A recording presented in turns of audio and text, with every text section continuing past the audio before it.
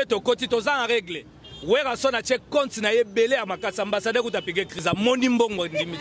bo sikoyo eza problème nini apres nayebi te bino ba bajournaliste il faut na minute oyo bakonza mboka boyeba vraiment ke oyo eza makambo esalamaka te soki na bagabo yaka nao nde moko te soki na ngola bavisa donc eza kutu facile soki okenda bapaye ebele mais pourquoi kaka na congo bopimela na bapaster bopimela na bamise na bakonza mboka kala mingi ta eh, delegation mo efaki so ya gouvernement bake bake so 100 personnes bakati 80 bapesi ka 20, 20 visa eza na sens te ko mosusu ebimi ke bamusicien bazoke moke bangulu nde baza ebele yango wana bacomplike bino toza na ngulu moko na kati te toyaka na bamusicien bamusicien bakomi bantaba bameme basoso tomemi ngulu te wana eza babiloko baoya nango lelo werason Musicien moko ta ozwa risque na ndenge makambo ma ngulu bakangaka bato kala otya ata cousin na bino olinga nge na telefone nagangeli ye mabe mpo tofane kote moko ah si nagangeli ye donc tofane na france nayebisi ye ke en tout cas werrason ambassadeur de la paix bapesa biso visa parce que noki te na mboka oyo seke toza sous protégé te seke biloko ya kosala nini na congo réclamer visa okay. donc euh, badossier nyonso ekotaki à bonne du forme makambo nyonso eza en ordre mais jusque là on ne comprend pas donc euh, bazo annule ba rendez-vous soki toye ezozalaka boye gauche droite donc ezopermettre te que Euh, euh, werrason le roi de fo ake kosala mosala na ye toyebi ke toza vraiment très très combatif mais tozobunda la vie c'est un combat tozobunda mm. en tout cas nzambe akosala raison pour laquelle totika na 3 jours public ya werrason babi non jusqu'à quand balamuki ensemble baartiste bacomédien bamusicien biso tu toye mpo na koréclame visa soki bapesi biso ka visa lelo mbala moko lelo mpe kaka mbala moko direction paris ok paris lobi na ntongo toza wana ok donc nde tozali awa kam hmm. schengen hmm. solola donc bapesa biso visa se bapesi biso visa ka lelo mbala moko euro 10 heures soki 11 heures hmm. mbala moko tokei europe mais nzambe apesi bango chance wana ke vaccin ye tout le monde azwi vaccin neti ngai nazwi vaccin le roi de la forêt azwi vaccin bamisien tout bazwi vaccin hmm. bikorine azwi vaccin donc bato tout bazwi vaccin igo mpe azwi vaccin mais tozo comprendre te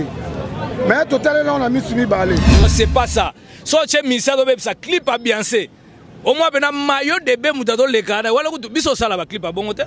baclip mosusu ya baamerika otali makambo asala na kati ya clip oregrete tuka bozala bino calme werrason roi de spectacle lelo tozokende toa na problème moko te makambo nyonso tout est carré tozozela kaka bamindele oyo bamonaka lokola bango baza basuperieur na biso bapesa biso visa tokende toyebi toza bafamille florent chiba me tobandi ne makambo bopeti tro towumeli nango sikoyo me soko tovidaka te mpo ya nini mpo nayebi kaka so na ye naa na eloko na opropose ozo comprendre ye ayebi touta ozala ne kote moko boye ayebi mamu nasalaki donc nga na motu moko so nazwi bato publike liboso na nga babikaa nde te donc fo bazwa problème na panzi biso oza mpena bato oyo beti réponse eye ta cri ta cri yango bakomona tour oyo na zeniti donc eza makambo na nga ngai nasala comédie te ngai nde comédie donc sadi ngai nde nao voyage na bacomédien donc sadi Comedien baokei na comédie. Donc ça dit inspiration sur inspiration.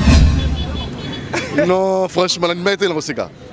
osekisaka kala nde toyali vie de loin pede nada euh, sudiata baza bagrand comédien ya mboka na biso ozo comprendre oyo oh, bato baozela bango na zénith mais sikoyo nde tokende bongo baokende kosala siko nga donc sadi nga kati na bango donc nga moso donc nga ata nasali elo te na mpo na controle na bango eh. mais c'est pesa public osalaka mo avant goût te ta bachete eh, avant goût awa eza nanu te baoyo bakotala yango awa ah, fo basala effort bafuta babillet bazwa bavisa bakovivre yango kuna na zenit eh, sala bango mwa eloko moko kaka eloko moko eloko moko obasantika oza comédie et non pas comédien bozwa elo moko oyo batutu bata banda na takumuda ti na misa suka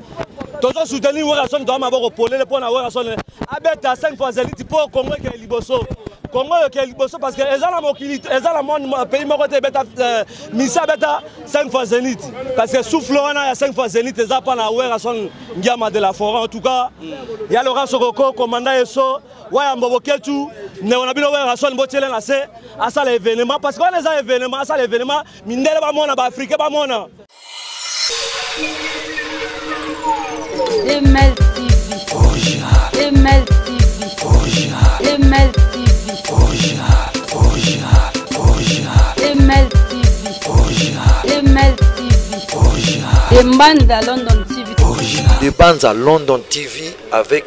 de Bruno original. Et au côté aux en règle. Werrason a check compte na ebele ya makasi ambassadeur kuta pige crise amoni mbongo ndimi.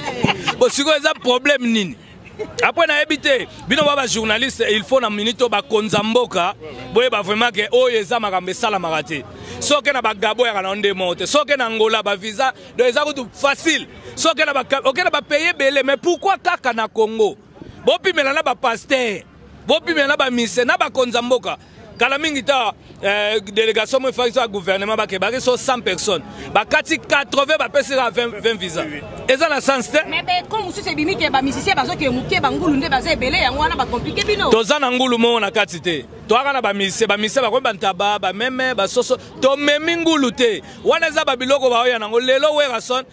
Mise moko ta ozwa riske na ndenge makambo mangulu bakangaka bato kala otya ata cousin na bino olinga te orchestre monene lokola maison mare visa malgré bato ebele toala bamikanda ngai na alia nakokenda ngai ta sikoyo bato mosusu mpe baza wana mpe wera ala mokanda bato ebele mpe baa na mikanda mais ezosengaki visa parce que tomema bacomédien tozomema ba ba journaliste toomema mpe bamusicien mosusu ya orchestre na biso oyo baosala spectacle ya kitoko mhm. yango toye ambassadeur nabengi na telefone nagangeli ye mabe mpo tofane kote moko ah si nagangeli ye donc tofane na france nayebisi ye ke entouka werrason ambassadeur de la paix bapesa biso visa parce que noki te na mboka oyo seke toza sous protégé te seke biloko eya kosala nini na congo soki ezake mpo bapimela bato bavisa eya kosala nini na mboka oyo non mais sangarde kuta on a appris que euh, zénith aconfirmaki nanu invitation na bino te mais bino déjà bosalaki bapropagande avant zénith nanu arépondaki bino te eza n'importe quoi parce que zénith deya so okoti na site ya zénith omona weraso na date ezala banda kala zénith eza sale soki okangi sale moko ya mariage obike non tosa mariage na décembre ata tyola ngo lelo nkombo no ezali ndenge werason zenith deja c'est bon eza na minute oyo bakonzi na biso nde il faut barevoir na baambassadeur oyo bawuta bapaye ebele eyaka mpo na wera te lelo motu normal kota bando osenga visa soki osala 32 eza ya visa te msu mpe tyo okufa ozwi yango te mais impossible eza mpe na donc eloko moko rien avoir mpo motu soki oza na mbongo faut obeta mpe tour ozongi est ce que motu tu akendaka poto akokima bato ebele baa na bandako baa na basociété mais pourquoi vise koma or na mboka oyo en tout cas ken piana merci mpo na question merci na bajournaliste nyonso botondi awa mm. eloko ezoleka liboso ya maison schengen toye koréclame visa okay. donc euh, badossier nyonso ekotaki à bonne du forme makambo nyonso eza en ordre mais jusque là on ne comprend pas donc euh, bazo annule ba rendez-vous soki toye ezozalaka boye gauche droite donc ezopermettre te que Euh, euh, werrason le roi de fo ake kosala mosala na ye toyebi ke toza vraiment très très combatif mais tozobunda la vie c'est un combat tozobunda mm. en tout cas nzambe akosala mm. parce que cause na biso eza noble to biso mosala na biso ezaka musique toyebi eloko mosusu te tovivaka na musique donc tosala na musique bapoliticien baosala mosala na bango tranquille bandeko na biso baa na poto baoke kayu okay. tranquille mm. bandeko na biso baa na afrique du sud partout basala mosala tranquille basoda mpe basala mosala na bango biso mpe tosala biso donc biso moto akoki koempeshe biso tosala mosala mosala te mpo bana biso bazonga classe ndenge nini okay. soki wera abeti te tozwa mm. kashe ndenge nini mpo tozongisa bana baklasse tokofuta bandako ndenge nini na nsima piroge mpe la mosusu nafutela mama na nga mpe ndako okay. na nsima na piroge bato mosusu mpe bavivaka donc po permettre biso tosala mosala na biso donc raison pour laquelle totika na 3 jours okay. public awe ensemble babi non jusqu'à quand balamuki ensemble na baartiste bacomédien bamusicien biso tu toye mpo na koréclame visa soki bapesi biso kaka visa lelo mbala moko lelo mpe kaka mbala moko direction paris paris lobi na ntongo toza wana donc nde tozali awa mm. cam schengen mm. solola donc bapesa biso visa se bapesi biso visa ka lelo mbala moko euro 10 heures soki 11 heures hmm. mbala moko tokei aéroport bon eza plaisir a trop eza plaisir talaka bacomédien toza ebele bacomédien toza ebele ntango le roi de la forêt apense na nga donc euh, ezolakisaki tosa mosala donc voilà na oyo na bamanevre oyo ezoleka parce que concert etikali kaka ba 3 jours na ba manœuvre oyo ezoleka esala bino ndeni bon nga bon mwa ba stress ezali mais bana tout ya paris baza sur ke concert ezali et puis baza jamais desi batano culture culture ya congo hein? toke tobeti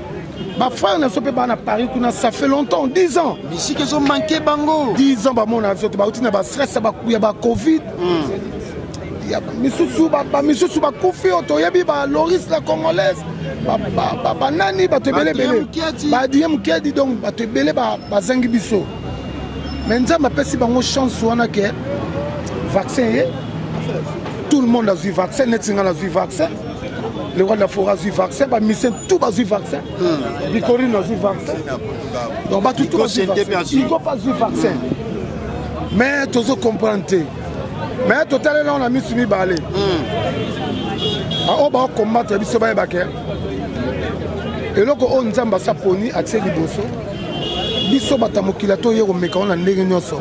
ekodenda mpe tokende tokobeta concert tozongi mpo tokende lisusu kobeta olympia donc eh, sali na bafanatike tout hmm. nazwi bino mo bomoni makambo elekawa bandeko na biso ya badiaspora baza bandeko na biso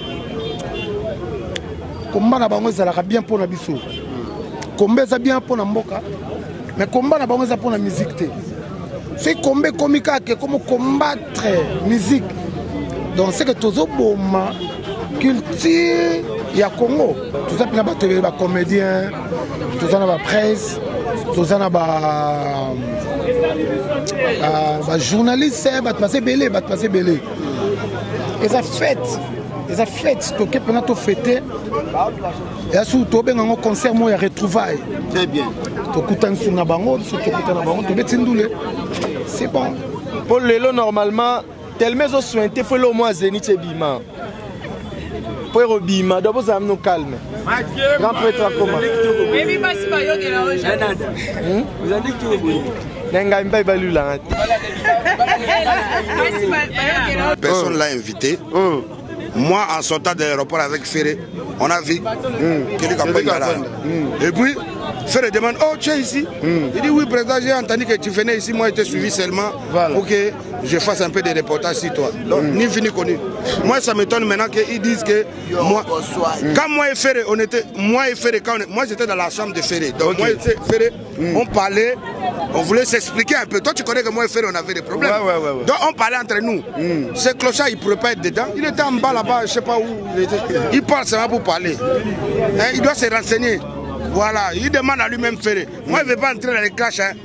Voilà. Mais s'il veut que je m'énerve, lui-même il connaît, personne ne va l'intervenir. Voilà. Voilà. Donc, Merci. Kakbenda, calme-toi, mm. fiston. Tu sais pas où tu vas mettre tes pieds. Mm. Ne touchez pas à Yorobo. C'est voilà. Santa au dictateur, l'artiste du peuple. Voilà. Yorobo. Eh, yakomeka na faci beton akoumela te akolongwa bayiba mbongo leta bakokende na boloko bakokende bafinga mokonzi ya mboka bakokende na boloko bakokende bapimela wera visa bakokende na boloko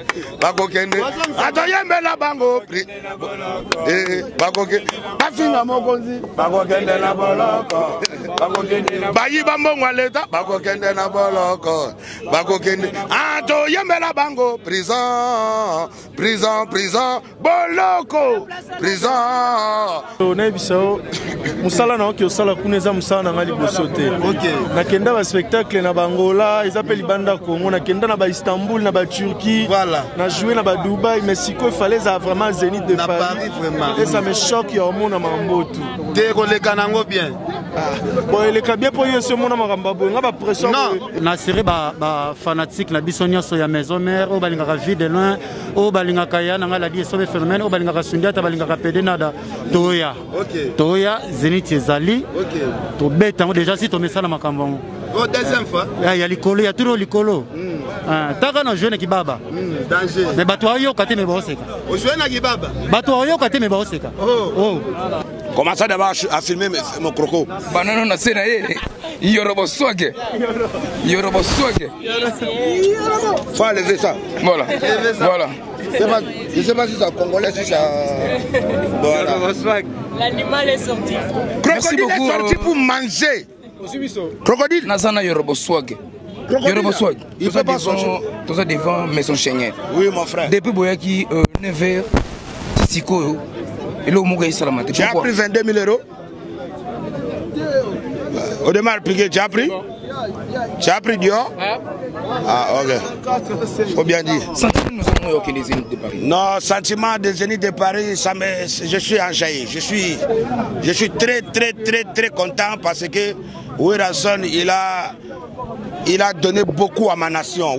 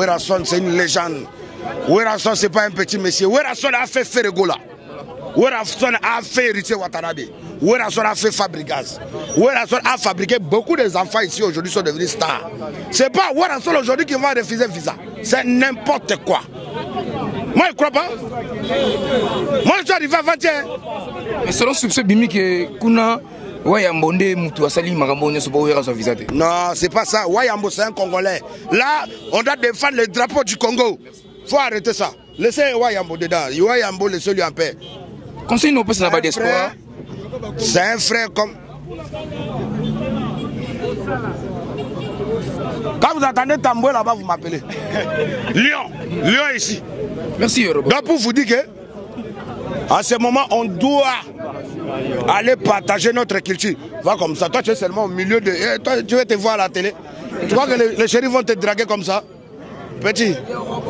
Donc. Paris, les Européens, les Européennes, la nation africaine, dans le Sénégalais, le, Malien, le Camerounais, les Ivoiriens, moi, votre humble serviteur, Mister Lifondende,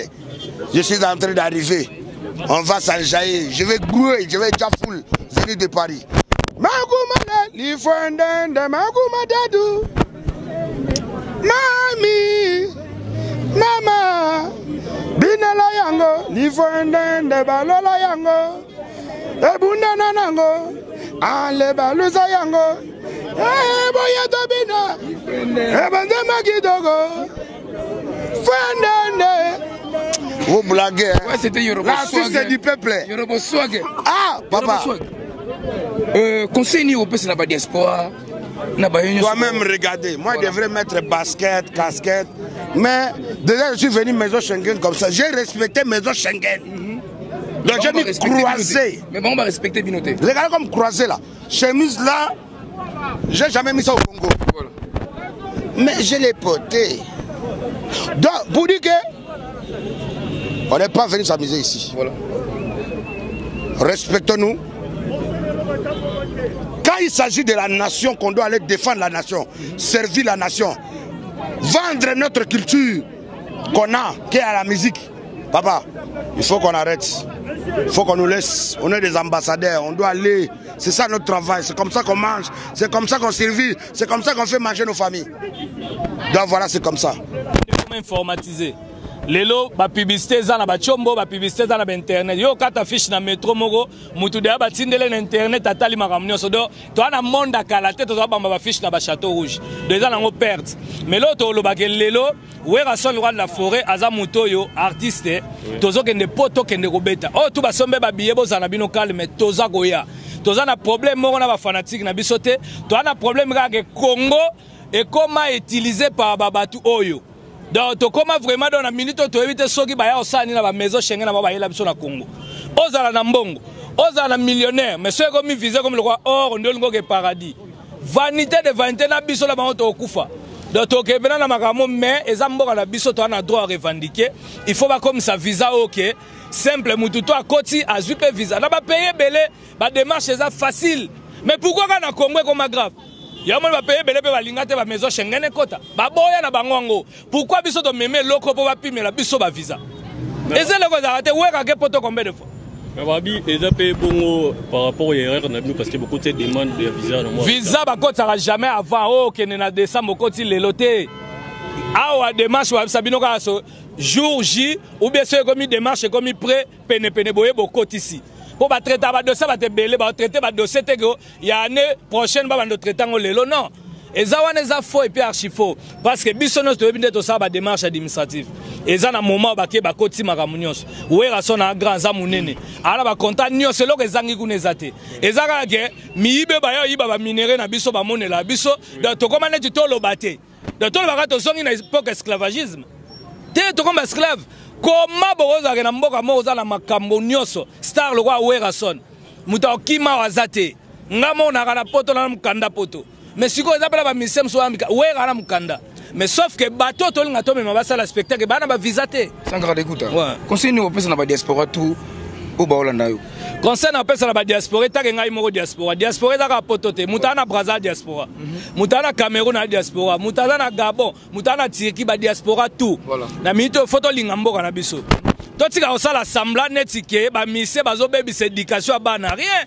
biso moko tolanda loyenga bilamba tolanda loyengo ya babe soko olandi bavideo ya bato ya poto misie kutu te moyoka babetise baoloba na minoko na bango baofinga na bango na bango bagromo oyo ekobima tawa te donc c'est pas ça so otye misi azobebisa clip abianse omwa mpena mayo debe moto azoleka na wana kutu biso osala baclip ya bongo te baclip mosusu ya baaméricain otali makambo basala na kati ya clip oregrete donc eza yango te lelo bolobai pouvoir echange lelo président kabila akasu te tisekedi moto aya bolingi su neti misi asali nini solo soupçon ndenge ebimi ke euh, titi bapimela nini bavisa boye eza waya monde moto aboyi euh, bokeco aza eloko te makambo awa mpe mondele mpe ayebi ye te do aza ne ewa azolia so malangwa mpa na ye na fufu do eza nango asala kamea alobi na ye ye aza mokonzi ya poto te poto eza na makambo na yango okopanda donc la minute oyo ndenge ye azali wana nde biso mpe tozali yaka na belgique ngaka na france donc makambo aoloba na biso mpe ngai mpe nakoloba na telemi na tour efe naoloba eza nango rien makambo tooloba ezali makambo ya administration bakonzi ya mboka fo bafongola misu dernièrement makambo ya bato ya gouvernement fa bakende 100 personnes bakati 80 bapesi bango 20 imagine yokasi mboka ni eta elingi evoyage na bamboka bela tokenda ata na afghanistan baafghan baza sa bango bavoyage ambassade bopesi bango 20 visa me batumbi ambassade do eza kaka ke mpo biso toa faible so mondele mwa alobi eloko toyoki ye bosiko one u alors sans tarde écoute un message de penino olancer devant Eh, bapublike oyo basombeli ya babio bamitema eza likolo bazobatuka oyo bato batu mitema ya likolo tozozela kaka suite awa so tozwi visa déjà avion ezozela biso déjà eza na njili pilote akuta waci obenga ngai eh, si tovage lelo pilote anga abengi ngai osankara nayoki mwa nzala na lingoli ya biloko na biso te dendo eza kote na bilodo naolukela pilote dendo awa mpo azala kaka calme azela donc so bapesi kaka visa tomati mbamo tokei ata moto aza commerçant balingi kopesa visa te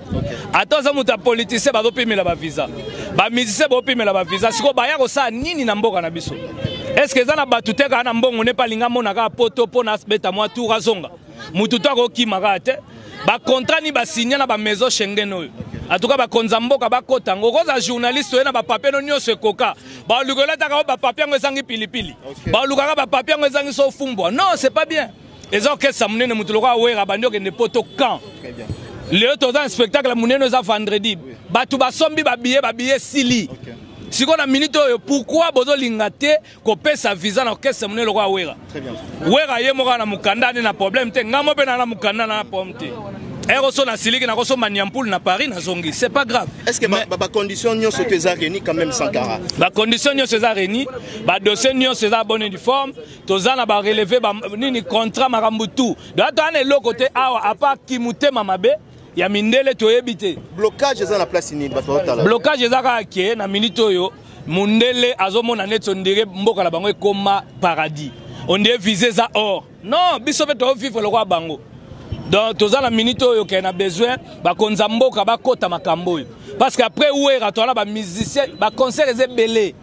bawazekwa bakobeta bafabrigas bakobeta bafere bakobeta banani eh, eh, bato ebele bale bazali oyo etikali na baprograme ya poto bosikoyo na bato wana baprograme so wera lelo aza lokola éclairer azolinga afongola sikoyo ya bato bandeko ne batikali so bapesi biso te lelo eza seke baconseil ezala te sikoyo oyebisanga tokomi bana musicien asala nini po kombata aza wana ye moko azolia azomela azobina kuna bamiziki na biso bamiziki mpe ebetaka redi auti obeta ba emelia babetaka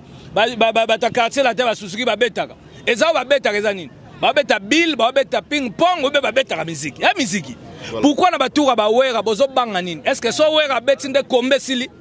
kombe esila te epuis lelo na minito bino bolia bomela donc il faut mpe wera abeta mpo afuta mpe babato eza basociété oyebi lelo na minito bafamille mpe combien ya babino mpe babetaka mpe bana biso ntango bakokoma mpe bapoto azwi mwa sapatu azwi mwa kar azongi mpe abongisi mpe mwa bandeko mosusu mpe baza na besoin na ye donc voilà sankarde kuta jour j moins 3 concert euh, ndenge bolobi awa ke visa nanu bapesi te est ce que mm. concert ekozala concert efe ezala concert ezala te comment si c'est fait que bozwi te il faut bapesa eza kutu te il faut mundele alingaka coup de pression te te en tout cas il faut mundele bongo ye aza nani a ah, supérieur ya noir te okopa so bayaka na mboko mpo bayebi ke baminerai yaka na mboko oyo bayebi ke mboko eza riche mais eza kaka ke mpo biso na minute toa banaif ba, ba toaka bato mo totala mokili boye il faut mpena eteya bakonzi ya mboka ba, il faut batelemela makambo oyo yo kai na bapays lokola tokenda tala bamaroc yo pimela bana maroc visa yo pimela ye mosusu ba, ba sénégalais mo visa obe bamalie mo be baekolo mosusu tokenda te mpa baarabe opimeli bango visa maambasade etumbami te mais pourkui biso bakongole bomonela biso ata moto aa na mbongo akokende te mpo tokomi lokola paradis non il faut totelemela makambo oyo parce que eza biloko oyo il faut toloba non soit balongoli bamaison shenge na bango bakende yango mpa na bango so bango bazala oyo oyiba bambongo na biso ate toke mpe bapoto te ngai nafanda na poto eske poto eleki kongo bango bana makelele bana pose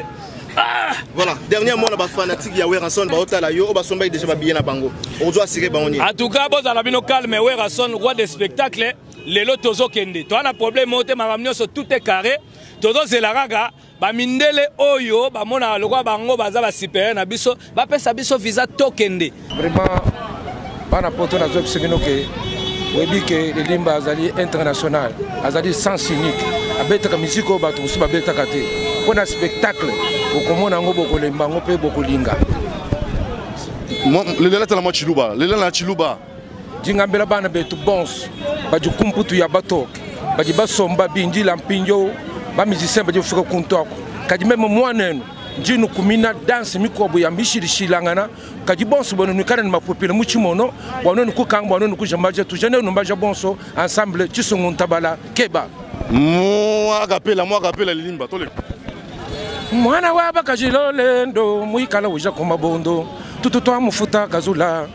bwichi bwa mbulubulu bobo butu bya bumwenya wewe wa buto wa bulabula hey bosolimbo we bon nazalaka phénomène esobe ngiama phénomène esobe ngiama ah bon oh mais ouais biso to biso to ba maison mère ya banda maison mère na ndenge osaka te to ba comédien ya maison mère donc ça dit wenge orchestre mais biso ba comédien tala kaka phénomène roi tout tout tout tout donc ça dit idéologie tout ti bato bamoni ke phénomène asali bamakambo na bamboka oyo mpo nalanda idéologie ya vie na ngai de la forêt donc ça dit na idéologie wana vie pas comprenaki ate petit oyo aza soldat donc na yakosakana te ladi esobe trois fois est ce que ozala na facilité ya troisième fois osepelisa mpena public parce que bato oyo bake liboso neti mastor ama mosika yo sikoyo troisième fois ozokende nini okosala il faut maintenant innove donc ndenge ezalaka wana euh, euh, donc ça dit euh, rarité mpe ejouaka mm. donc ça dit bato moko bamona ye mwa kala bana besoin bavivre ye donc ça dit basuccès baimpact wana ezalaka mais baimpact mosusu ezalaka biso toya bacomédien ya sur scène donc ça dit ntango nga naa na scène makambo oka nga bato bakomona na bango ngai bamona ngai bamesana parce que tobimi mpe lelo te ngai esobe nabimi nabandi théâtre bato ebele bakanisaka na mokolo mais montiri yo oyebi toza bafamille tokenda braza florent chiba mais tobandi ne makambo bopeti trop towumeli nango sikoyo mais soko tovidaka te mpo ya nini mpo nayebi kaka so na ye naa na eloko na opropose ozo comprendre ye ayebi touta ozala ne kote moko boye ayebi mamu nasalaki donc ngai na motu moso nazwi bato publike liboso na ngai babikaka nde te donc fo bazwa problème na panzi biso oza mpena bato oyo beti réponse ye temps cri ta cri yango baomona tour na zenith donc eza makambo na nga ngai nasala comédie te ngai nde comédie donc sadi ngai nde na ovoyage na bacomédien donc sadi comédien baokei na comédie donc sadi inspiration sur inspiration non franchement nandimaki te na koseka osekisaka kala nde toyali vie de loin pede nada euh, sudiata baza bagrand comédien ya mboka na biso ozo comprendre oyo oh, bato baozela bango na zenith mais sikoyo nde tokende bongo baokende kosala sikoyo nga donc sadi nga kati na bango donc nga moso donc nga ata nasali eloo te na mpo na controle na bango Eh. mais c'est ça public oh, salaka mwa avant goût te ta bachette eh, avant goût awa ah, eza nanu te baoyo bakotala yango awa ah, fo basala effort bafuta babillet bazwa bavisa banisa bakovivre yango kuna na zénith eh, sala bango mwa eloko moko kaka eloko moko wasantika oza comédie et non pas comédien bobongama bozwa eloko moko oyo batutu bata banda na takumuda ti na misa suka tozo soutenir werrason toa maboko polele mpo na werrason eh. abeta 5 fois zeliti mpo congo ekele liboso congo ekele liboso parce que eza na mokili eza na monde pays moko te ebeta eh, misa abeta 5 fois zenit parce que souffle wana ya 5 fois zenit eza mpa na werrason ngiama de la foran en tout cas ya lora sokoko komanda eso waya mbobo ketu ndeko na bino werrason botyele na se asala événement parce que wana eza événement asala événement